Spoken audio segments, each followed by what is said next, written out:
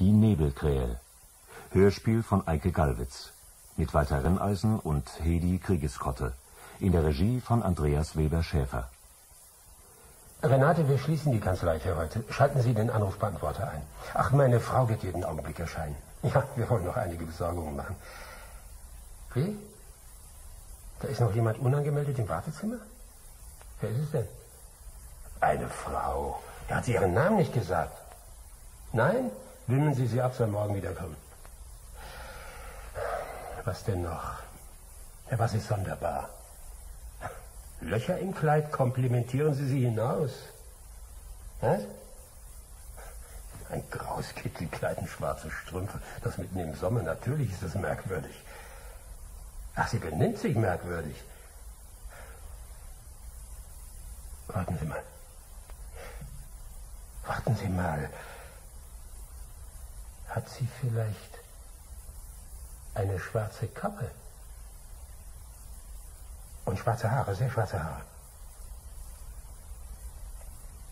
Aber das ist unmöglich. Das kann nicht sein. Ja, sie kann kommen. Das kann nicht sein. Das ist unmöglich. Ja. Ach, du bist es. Wer sonst? Ich dachte. Was dachtest du? Wir sind doch verabredet, Lorenz. Hast du das vergessen? Nein, natürlich nicht. Aber. Was aber? Sei doch nicht gleich so empfindlich, Laura. Ich dachte nur, ich habe gerade jemand anderes erwartet. Aber ich habe dich doch gebeten, dir für heute Zeit zu nehmen. Ich will das nicht alles allein erledigen. Schließlich soll dir die Wiege doch auch gefallen. Was für eine Wiege? Für unser Kind.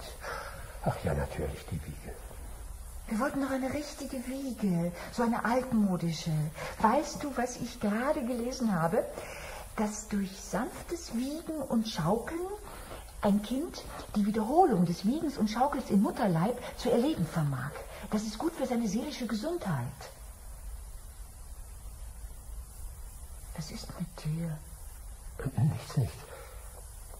Sag mal, äh, Moment, ich muss nur. Ach doch, im Wartezimmer ist noch jemand. Ich muss sie wegschicken. Moment.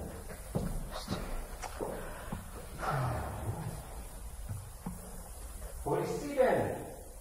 Was soll? Renate? Haben Sie sie weggeschickt? Nein? Danke, danke, Sie können jetzt gehen.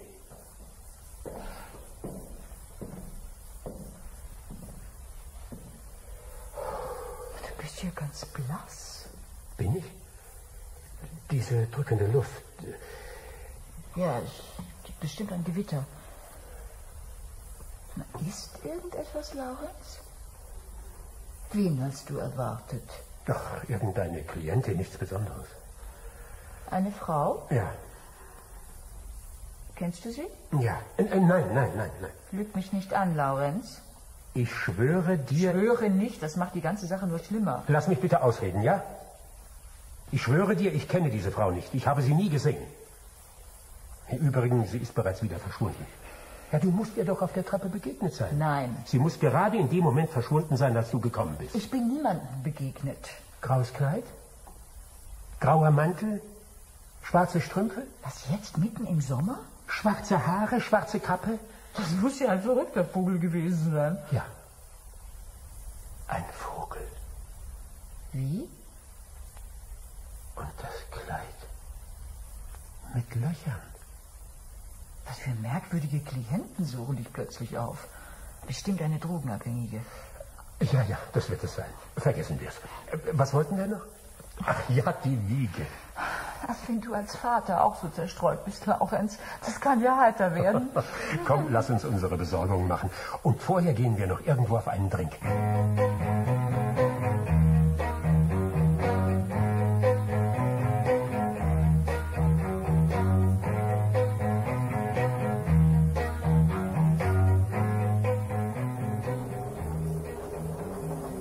Und noch eine? Ich habe Durst. Kein Wunder bei diesem Wetter.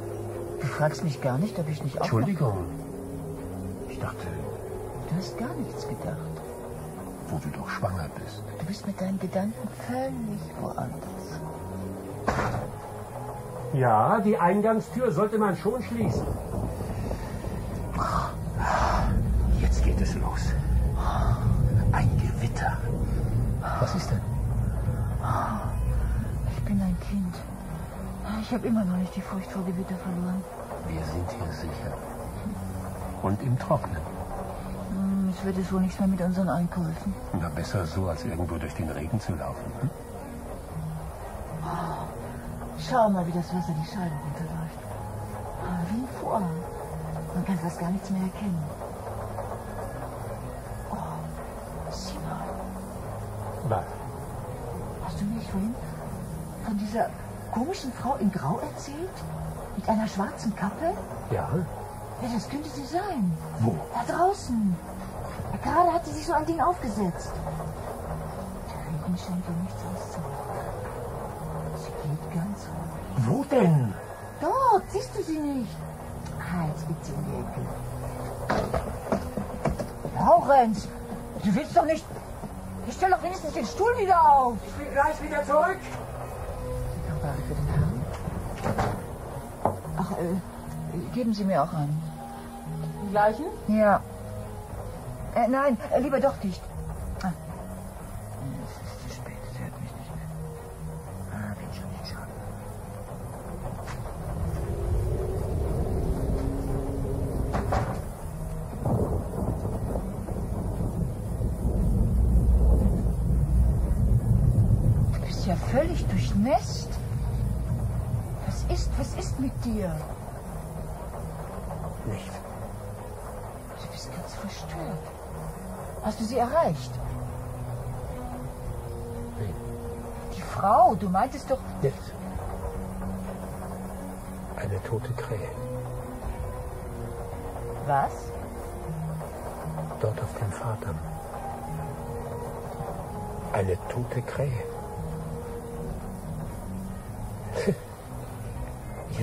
Uns diese Vögel schon in der Stadt heim.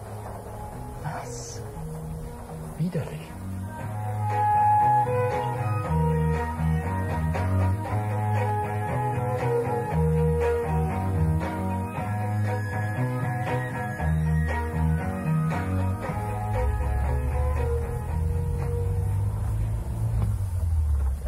Willst du nicht wenigstens die Heizung anmachen, so nass wie du bist? Du holst dir bestimmt einen Schnupfen.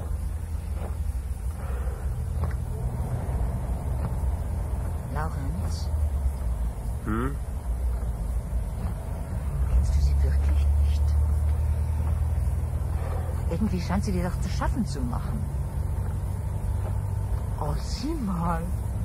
Was? Der Wagen vor uns. Was ist damit? Das Kennzeichen. Laura. Laura, mein Name. Und dann. Das ist ja drollig. Dein Geburtstag. 3740. 3.7.40. 3. Juli 1940. Kannst du erkennen, wer am Steuer sitzt? Nein, nicht genau. Eine einzelne Person. Ah, Die Rückscheibe des Wagens ist ganz nass und er hat keinen Heckwischer. Jetzt biegt er ab. Ah, es ist eine Frau. Ich glaube, sie hat schwarzes Haar. Die holen wir uns. Laurenz! Scheiße, muss der sich denn vor uns setzen? Du willst doch nicht... Die krieg ich. Gut. Jetzt biegt sie nach links ab. Ja. Schwarze Haare, grauer Mantel. Ich hab's genau gesehen. Die entwischt mir nicht mehr. Laurenz! Tja, die fährt ja wie der Teufel. Das muss man ihr lassen. Aber ich bin auch nicht vom Pappe, Fräulein Nebel. Gut, die Ampel wird rot. Verdammt, sie ist gerade noch durchgewitscht. Aber das macht nichts. Ich bleib ja auf den Fersen. Du kannst doch nicht bei Rot über die Ampel fahren. Ich bleib ja auf den Fersen. Das mache ich nicht mit. Wenn du Selbstmord begehen willst, bitte. Aber wenn du auch noch unser Kind sinnlos in Gefahr bringst. Nein, lass mich raus. Also gut. Nimm dir ein Taxi. Sag mal. Sag mal, ist dir eigentlich klar, dass ich schwanger bin und dass ich mich nicht aufregen soll? Immerhin bin ich schon 39 und das ist ein... Laura, ich bitte dich nicht jetzt. Wie du willst.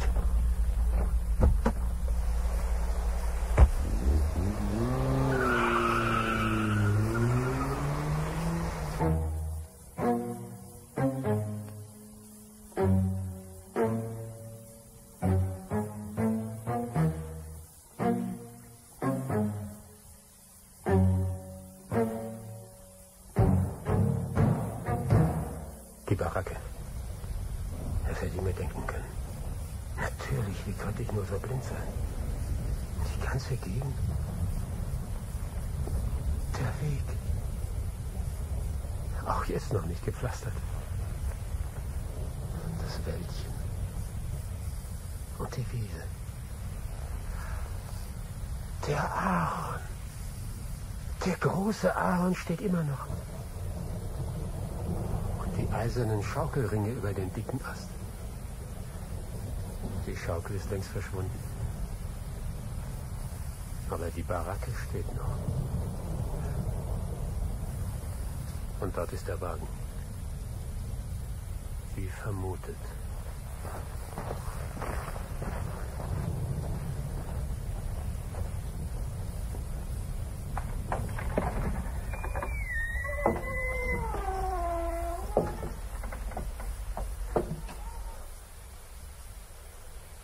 Laura? Laura?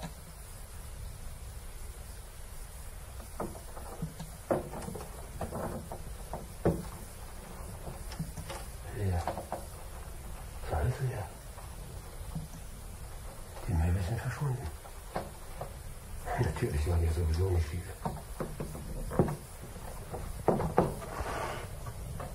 Das? Das muss unser erster Ball gewesen sein. Ein Stofffetzen mit Seegras. Da haben die Ratten drin gehaust. Ob sie noch existiert? Warte mal, wie war das? Wir haben damals abgezählt. Das siebte Dielenbrett vom Fenster aus. Hm, hm, hm, Vier, fünf, sechs, sieben. Und dann? Welches Astloch?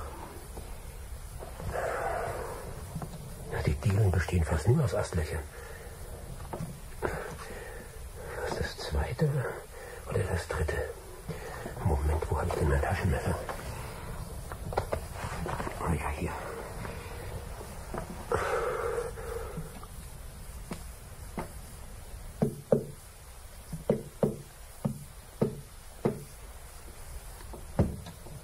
Hier. Ja. Das Astloch ist locker.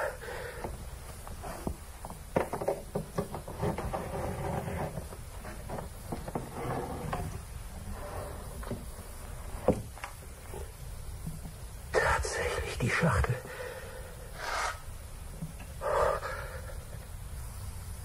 Ob sie noch alle drin sind? Eins, zwei, drei, vier, fünf, sechs, sieben, neun, zehn, zwölf, dreizehn, vierzehn, fünfzehn, sechzehn, siebzehn, achtzehn.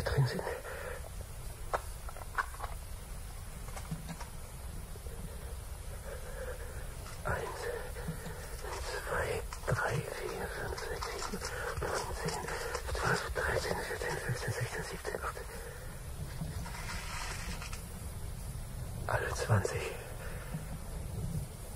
Unberührt. Laura, Laura, hört das denn nie auf?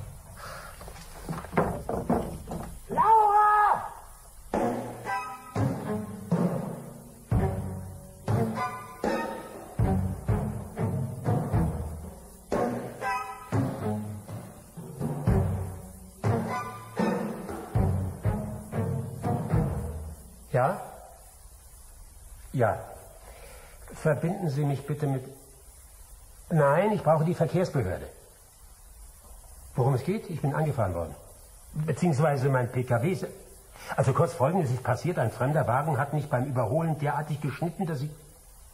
Ja, ja, ich, ich habe das Kennzeichen. L-A-U-R-A Laura 3740. Was heißt denn Ihr Datenschutz? Ja, man gefährdet mich als Verkehrsteilnehmer und Sie kommen hier mit Datenschutz. Ja, das ist doch lächerlich. Also jetzt hören Sie mal, ich bin Rechtsanwalt und Notar und an die Polizei, aber der will ich ja doch gerade den Halter des fremden Wagens melden. Ja, also gut, bei der Polizei. Ah, nichts zu machen. Du, was willst du denn hier? Sei doch nicht gleich so aggressiv. Du weißt doch, Laura, private Besuche in meiner Kanzlei sind Ich absolut... weiß, ich weiß. Ich verschwinde ja auch gleich wieder. Ich bin auf dem Weg zum Einkaufen. Der Regen hat ja Gott sei Dank aufgehört. Das mit der Wiege erledige ich nun allein. Ich mag nicht länger warten. Und deinen Anzug von gestern will ich in die Reinigung geben. Ist völlig verdreckt. Ich will gar nicht wissen, wo du dich herumgetrieben hast. Aber in deiner Jackentasche fand ich eine kleine Schachtel. Ja, ich habe mir erlaubt, neugierig zu sein und hineinzuschauen. Die Schachtel, wo hast du sie? Hast du sie etwa weggeworfen? Nein, nein, ich habe sie nicht weggeworfen. Wo ist die Schachtel? Hier in meiner Handtasche. Gib her. Was ist mit dir? Gib mir sofort die Schachtel. Warum bist du so aufgeregt? Es ist doch nur... Ich will nicht wissen, was es ist. Gib mir sofort die Schachtel. Schrei mich doch nicht gleich an. Es ist doch etwas völlig harmloses. Es ist nur so äh, außergewöhnlich. Gib sie sofort her. Au, sie ist mir weh, Laurenz. Ich möchte nicht, dass du in meiner Handtasche kramst. Da ist sie. Was ist denn bloß los mit dir? Nichts. Geh einkaufen.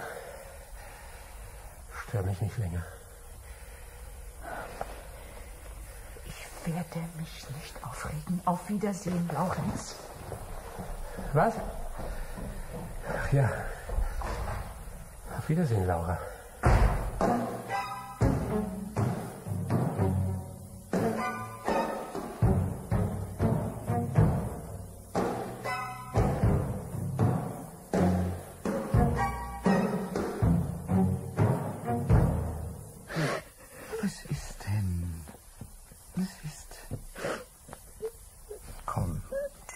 Komm, trink diesen Eierlikör. So. Wenn zwei Freundinnen in nicht mehr ganz jugendlichem Alter wie wir zusammen sind, trinken sie Eierlikör. Schadet auch dem Baby nicht. Bitte. Ivo, ein kleines Glas beruhigt die Nerven. Gut, dass du mich angerufen hast. Weißt du, wenn eine Frau schwanger ist, benehmen sich die Männer oft wie Idioten. Ich weiß nicht, warum es so ist, aber es ist so. Einer glaubte sich zu der Zeit unbedingt eine Freundin anschaffen zu müssen. Deshalb habe ich ihn ja auch vor die Tür gesetzt. Ist es das? Ich weiß nicht. Er ist schon seit Wochen irgendwie unruhig, nervös. Ich habe es immer auf das Baby geschoben, die Geburt. Er wird im nächsten Jahr 50, bis sich als Vater zu alt fühlt. Aber oft sind gerade die älteren Väter die Idealen. Erst hat er sich so gefreut. Jetzt läuft er herum wie ein Tiger im Käfig. Ich verstehe es nicht. Als ob ich nicht das Recht hätte, nervös zu sein. Aber nein, ich muss ihn beruhigen. Doch, dass der Arzt sagt, dass alles in Ordnung ist. Und das ist es doch. Ja. Aber vor ein paar Tagen. Vor ein paar Tagen? äh, Da war eine neue Klientin bei ihm. Seither ist er wie ausgewechselt. Was für eine neue Klientin. Irgendeine sonderbare Erscheinung in einem zerrissenen Kleid.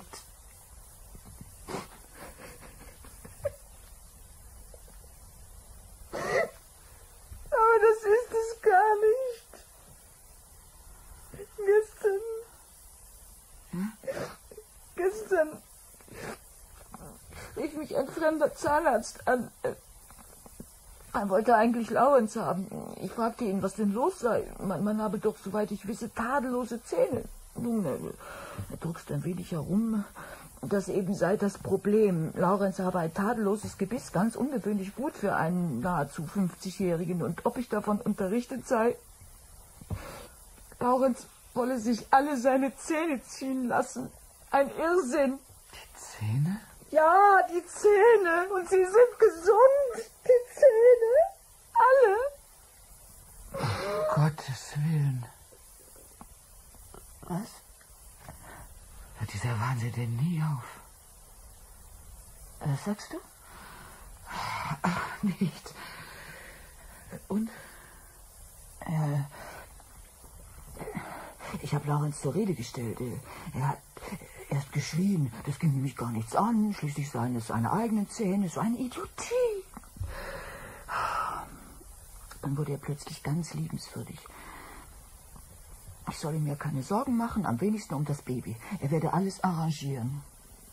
Ja. Wie? Was war das für eine Frau, diese neue Klientin? Ich weiß nicht. Ich sehe schon weiße Mäuse.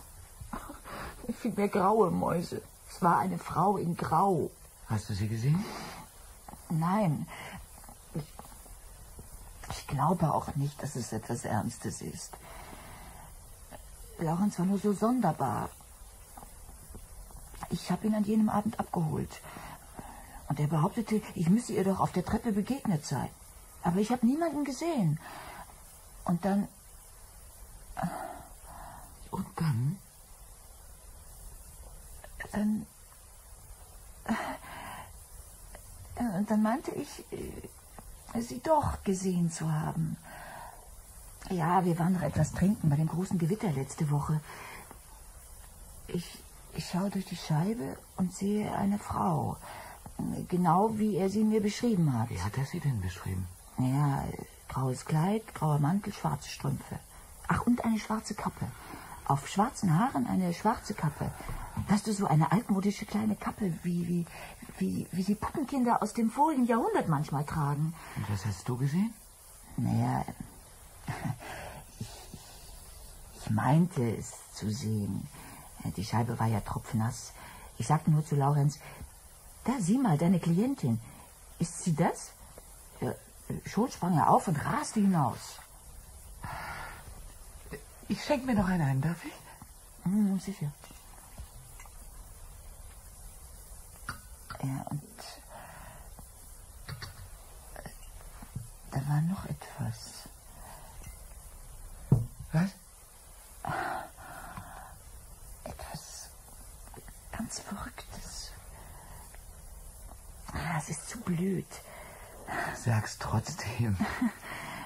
Er lacht mich meinetwegen aus. Ich hatte das Gefühl, ich, ich, ich hatte das Gefühl, Frau ist gar nicht nass geworden. Wie meinst du das? Das Gewitter, es regnete doch in Strömen, aber die Frau, sie ging ganz ruhig. Und sie war überhaupt nicht nass. Ja, so kam es mir jedenfalls vor. Oh, oh, jetzt hast du dein Eierlikör umgekippt. Ah, macht nichts, hier hast du ein Taschentuch.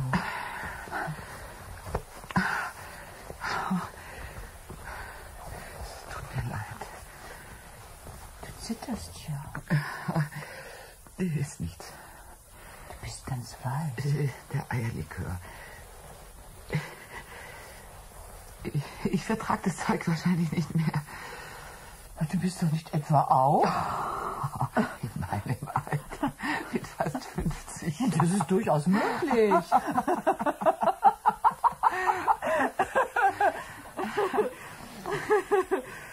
Sag mal, Lorenz dir eigentlich je etwas über die Familiengeschichte der Kronenburgs erzählt? So gut wie nie. Das ist ja ganz eigen. Ich weiß nur, dass die Familie aus dem Osten stammt. Sie soll sehr alt sein. Sie ist es. Ein Zweig der Familie stammt ursprünglich aus Spanien. Es sind Sepharden. Was sind sie? Spanische Juden. Wahrscheinlich nur früher aus dem arabischen Kulturkreis. Meine Güte. Eine andere Linie weist die ersten polnischen Kreuzritter vor. Sehr vornehm, was? Auf alle Fälle sehr alt. Und sehr eigen.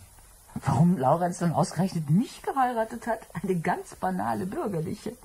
Ich denke aus einem einfachen Grund. Nämlich? Weil du eine ganz normale bürgerliche bist.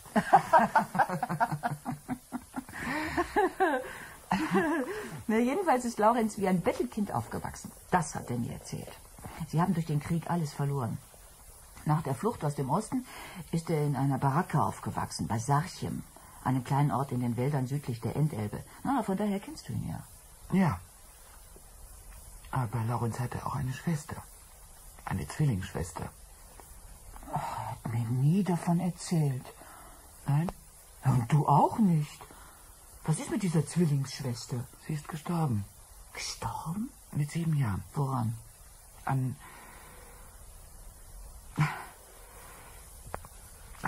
weiß es nicht so genau. Die ärztliche Versorgung war damals ja noch sehr schlecht. Wieso?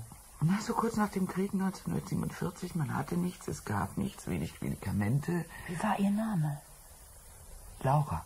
Ach. Sie starb genau an seinem Geburtstag im Juli. Also an beider Geburtstag. Sie sind jetzt Zwillinge. Wie furchtbar. Er hat mir nie davon erzählt. Wie war sie? Ja, du bist doch mit beiden aufgewachsen, damals als Dorfkind aus Sarchem. Das sind alles alte... Ich weiß es nicht mehr so genau. Na, aber ich erinnere mich an meine erste Freundin sehr gut, mit sieben Jahren. Nur sie war War sie Lorenz ähnlich? Ähnlich. Ja. Auch sie hatte dieses rabenschwarze Haar, wie Laurenz. Und wie du. Und sonst? Ah, Sie war... Sie war ganz, ganz anders. Warum bist du plötzlich so einsilbig? Ich? Ja. Naja, die beiden waren keine eineigen Zwillinge, wenn du das meinst. Sie waren sich nicht ähnlich. Als ich sie kennenlernte, da... Ja? Laura, ein andermal. Ich, ich, ich muss dringend Joachim abholen. Du weißt, wie ungeduldig er wird, wenn ich ihn sitzen lasse. Ich habe das Auto, diese Parkerei in der Innenstadt, da lässt er sich lieber abholen. Aber- ein andermal. Äh, Gibt es denn da irgendetwas zu verbergen? Oh nein, nichts. Alles alte Kamel. Du hast es plötzlich so eilig. Wie war sie? Sie war außergewöhnlich. Ja. Ich erzähle dir mal von ihr, bestimmt. Versprochen ist versprochen. Tschüss.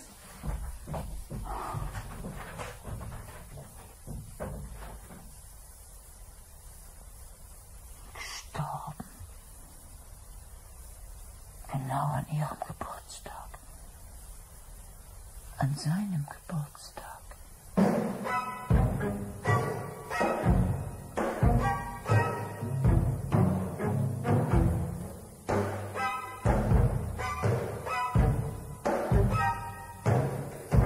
Warum? Warum ich mich mit diesem Vorschlag an Sie wende? Na sicher, es besteht kein konkreter Anlass. Wieso umso verwunderlicher? Ich möchte einfach vorsorgen. Im Falle eines Falles. Meine Frau erwartet ein Kind und ich bin nicht mehr der Jüngste.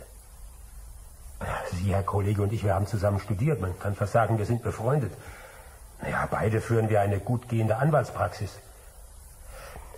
Rüdiger, sollte mir je irgendetwas zustoßen, wäre ich Ihnen sehr verbunden, wenn Sie in diesem Fall meine Angelegenheiten ordnen könnten. Nein, meine Frau wird dazu sicher nicht imstande sein. Na, es ist doch eine recht komplizierte Materie. Ja, kurz und gut, meinen Kundenstamm wüsste ich bei Ihnen in guten Händen. Und, äh, also meine Frau würden Sie sicher nicht übers Ohr hauen. Nein, nein, nein, nein. Alles in Ordnung. Nein, ich bin durchaus nicht sterbenskrank, durchaus bei körperlicher und geistiger Gesundheit. Und, äh, einen Augenblick, Rüdiger.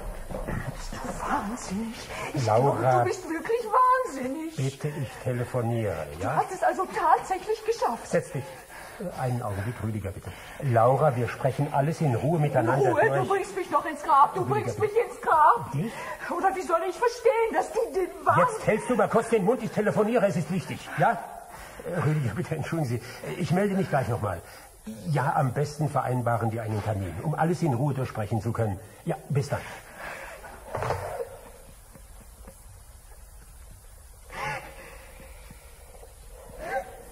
Bitte entschuldige den Ausbruch. Warum hast du das getan? Was getan? Du weißt schon. So, das. Weißt du, es gibt Dinge, Aber deine Zähne waren doch gesund. gerade darum, Was darum? du wirst es nie begreifen. Ich hoffe, dass du es nie begreifen wirst. Ich begreife es ja selbst nicht. Sich alle Zähne ziehen zu lassen. Bis auf zwei. Der Zahnarzt hat mich angerufen. Laura. Nein, vielmehr ich habe ihn angerufen. Ich gebe es zu. Laura. Nenn mich nicht so. Aber du bist Laura. Oh ja, mit dem rabenschwarzen Haar. Was? Was ist denn das da in der Ecke? Das? Ein Spaten? Wir haben doch gar keinen Garten. Nein, Ja, was in aller Welt willst du mit einem Spaten? eine Krähe erschlagen. Bitte? Eine Krähe erschlagen. Und jetzt lass mich allein.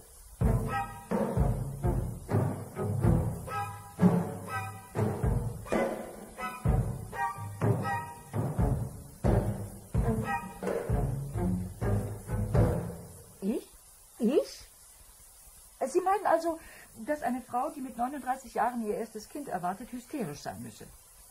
Nein, das haben Sie nicht gesagt, aber Sie haben es angedeutet. Ich danke Ihnen, Herr Doktor. Jetzt bin ich die Verrückte. Laurenz jagt hinter einem Phantom her, lässt sich die Zähne ziehen, kauft einen Spaten, um eine Krähe zu erschlagen, aber ich bin wahnsinnig. Mhm. Was ist los? Was ist da bloß los? Ah, da ist er. Unser Hausarzt hat mich angerufen. Unser Hausarzt. Dich ruft er an. Nein, es geht mir nicht gut.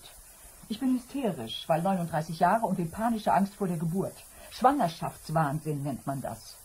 Ich habe mir auch schon eine Hacke gekauft, um unser Baby zu erschlagen. Laura, bitte. Red nicht so daher. Wie soll ich denn reden?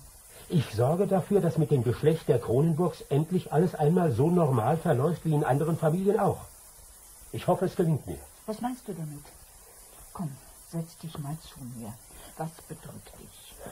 Was sind das für Anspielungen? Was ist mit deiner Familie? Warum erzählst du mir nie etwas? Hier, nimm. Ein Siegelring? Ja. Es ist ein besonderer Ring. Na, der Ahnenring. Und so etwas wie ein Ring der Kraft. Und der Verpflichtung. Ich will ihn nicht. Er gehört dir. Ah, Schon wieder so etwas Mysteriöses. Der Ring wird dich beschützen. Vielmehr unsere Tochter. Woher willst du wissen, dass es ein Mädchen wird? Wozu gibt es heutzutage Ultraschall? Äh, ein Mädchen? Na also. Aber wir waren uns doch einig, uns überraschen zu lassen. So? Hör zu. Es wird ein Mädchen und sie wird Laura heißen. Nein, auf keinen Fall. Es muss sein. Warum? Ich bitte dich darum. Ich will den Ring nicht. Was ist denn? Ach ja, Krähen. Eine hockte vorhin am Fenster. Sie werden immer frecher. Am Fenster. Ja, sie schaute mich ganz böse an. Ging mir durch Mark und Bein. Das heißt, ich weiß gar nicht, ob es eine Krähe war. Sie war nicht schwarz. Sah sie so aus wie die auf dem Ring. Es ist eine besondere Krähe. Eine Nebelkrähe. Und wie sehen die aus? Grau. Nur Kopf und Flügel schwarz. Und natürlich die Beine. Weißt du, wie ich meine Schwester genannt habe? Kleine Nebelkrähe. Sie trug nach dem Krieg immer das gleiche graue Kittelkleid mit schwarzen Ärmeln. Wir hatten ja nichts zum Anziehen damals. Mhm. Und sie hatte schwarze Haare. Rabenschwarz wie du. So. Aber ich habe dir doch von meiner Schwester erzählt. Nein, nie. Naja. Die kleine Nebelkrähe. Übrigens, wenn zu deiner Linken eine Krähe ruft, bedeutet das Glück. Und zu meiner Rechten? Darüber ist nichts bekannt. Ach, darüber ist nichts bekannt. Hm? Hast du noch mehr derartigen Unsinn auf Lager? Es ist kein Unsinn. Übrigens, ich muss heute Abend noch weg. Nein, bitte. Es ist schon wieder ein Gewitter angesagt.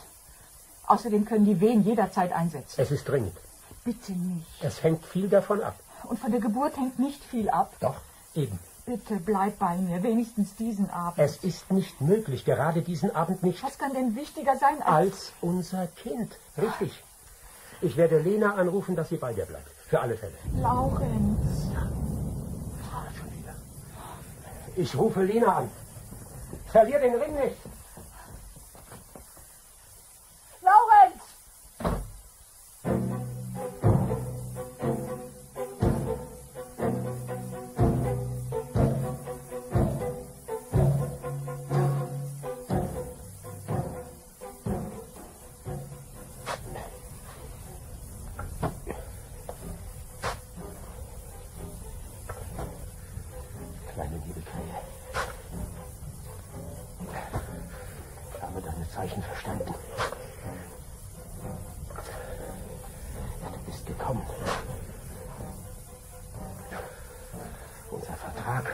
Fluch derer von Kronenburg. Es muss sein, ich beuge mich. Ich habe mich lange gewehrt. Ich wollte es vergessen. Ich wollte es nicht glauben. Aber du bist gekommen, mich zu mahnen. Das Kind. Ich beuge mich dem Gesetz. Unserem Fluch.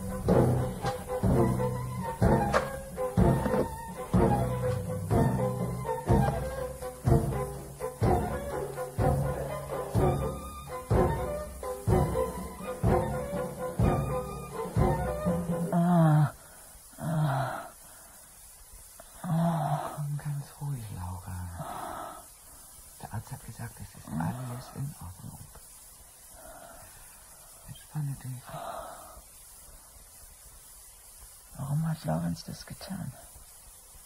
Was getan? Mich allein gelassen. Er wollte dabei sein.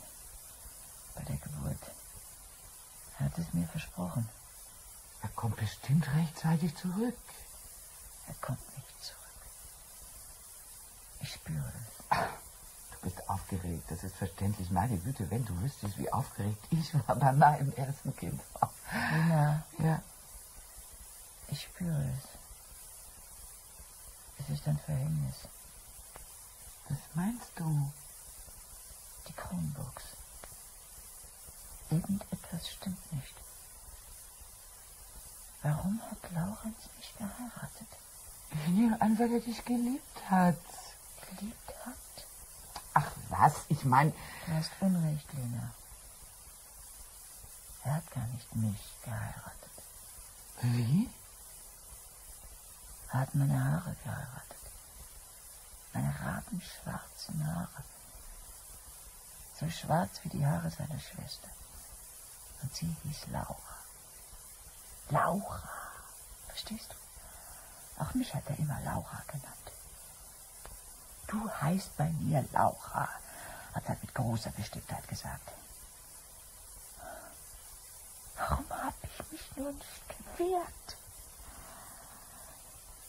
Ich heiße doch Luise. Sehe ich ihr ähnlich? Wem? Seiner Schwester. Sie war sieben Jahre alt, sie Sie damals. starb. Und ich sterbe auch. Unsinn! Du wirst jetzt bald ein gesundes Kind zur Welt bringen. Ja, das vielleicht noch. Sehe ich ihr ähnlich? Laura. Luise. Luise, Laura war damals ein Kind. Sehe ich ihr ähnlich? Du zögerst. Warum hat er nicht dich geheiratet? Du hast ihn doch geliebt. Liebst ihn noch? Laura. Ich weiß, was ich weiß. So etwas spürt man. Nicht wahr? Ich habe recht. Ich weiß nicht, wovon du sprichst. Wirklich nicht? Ich bin sehr müde. Ah, ah, ah. Ich glaube, die Wehen setzen ein. Fahr mich in die Klinik. Oh, dieser furchtbare Regen. Hat er nicht eine Krähe geschrien? War das zu meiner Linken oder zu meiner Rechten? Ich schon.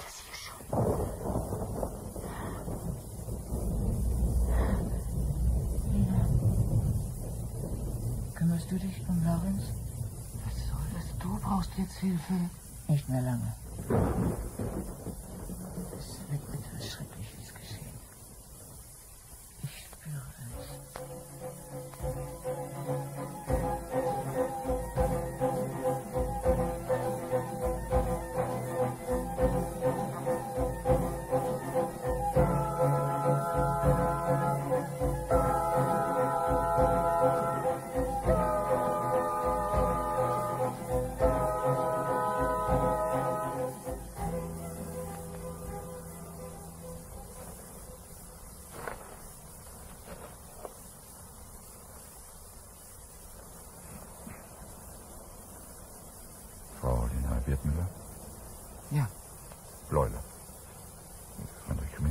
Kriminalpolizei. Wir sprachen uns am Telefon.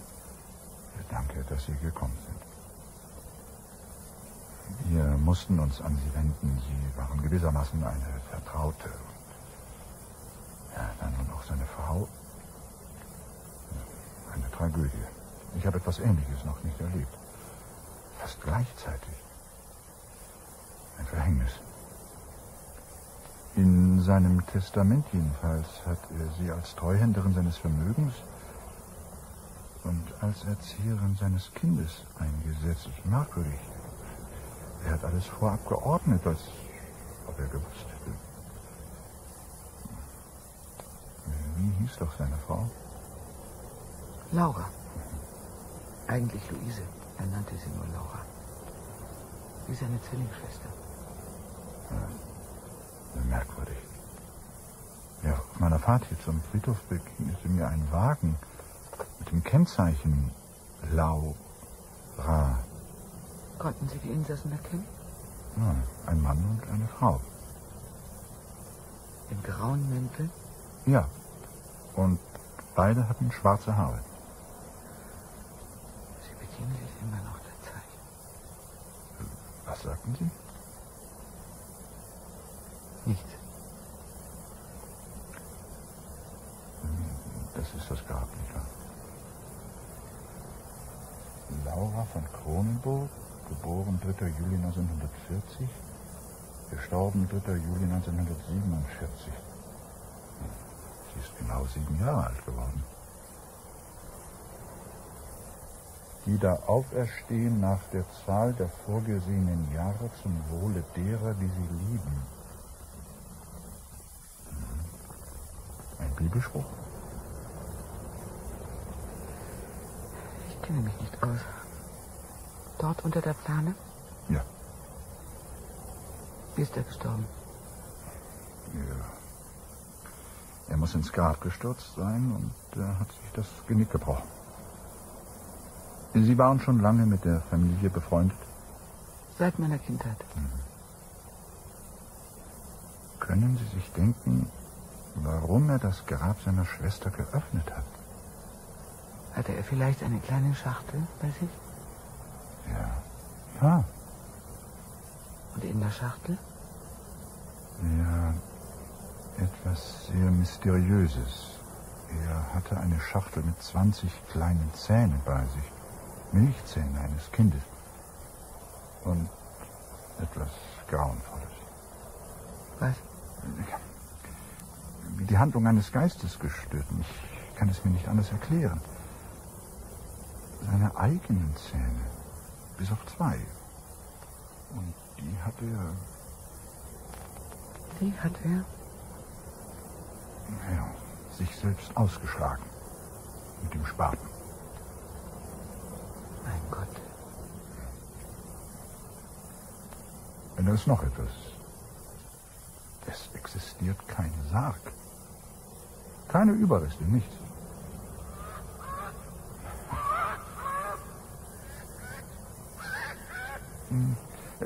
Was sind das für zwei Vögel dort in der Esche? Kennen Sie sich aus? Sie sind ungewöhnlich groß. Raben? Es sind Nebelkrähen. Ah. Sie siedeln eigentlich östlich der Oder. Warum das Paar sich hierher verirrt hat?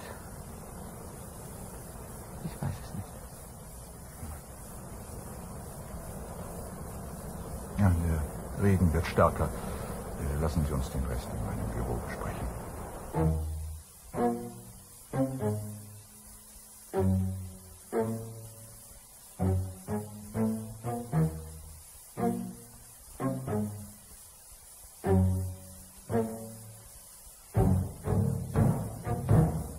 Wir waren Spielkameraden, Laura, Laurenz und ich. Und unzertrennlich. Ich war fasziniert von ihnen. Von ihren pechschwarzen Haaren und ihrem fremdländischen Aussehen. Die Mutter war gestorben bei der Geburt der Kinder. Wie übrigens auch deren Mutter bei ihrer Geburt. Mhm. Ja. Im Winter 1946, 47, Sie wissen vielleicht noch,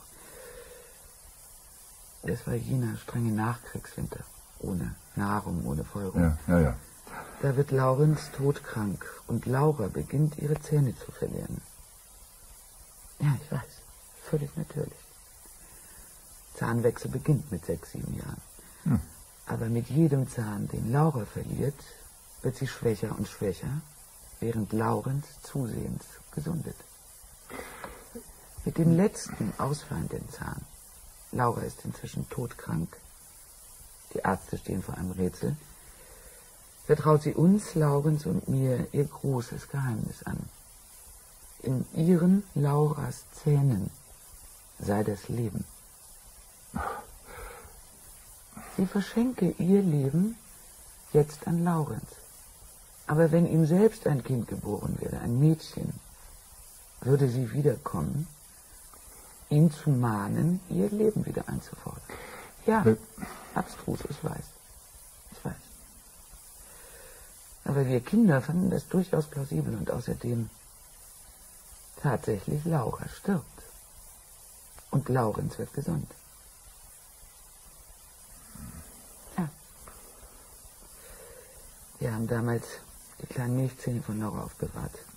20 an der Zahl. Und sie unter Heiligen schwüren, niemals einem Sterblichen das Geheimnis zu verraten, in einem Astloch der Dielenbretter einer Baracke versteckt.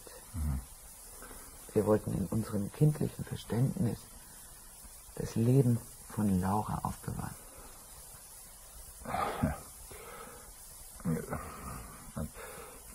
Wenn man dieser Gruselgeschichte glauben will, dann, ja, dann ist es nur logisch, wenn Laurenz, um den Tod seiner Frau zu verhindern, seine Zähne, das heißt sein Leben, opfert.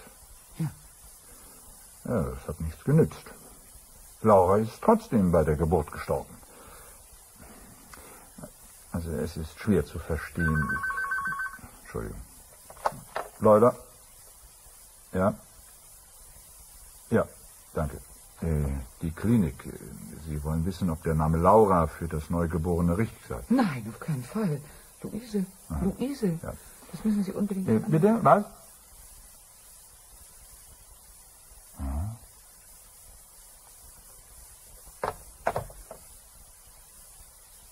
Na, Das ist ja merkwürdig. Ähm, da ist noch eins. Ja? Äh, erschrecken Sie nicht. Die Kleine lässt etwas völlig Außergewöhnliches erkennen. Also eine Andeutung vorerst, aber eine Reihe von klitzekleinen perlweißen Zähnen. 20 an der Zahl.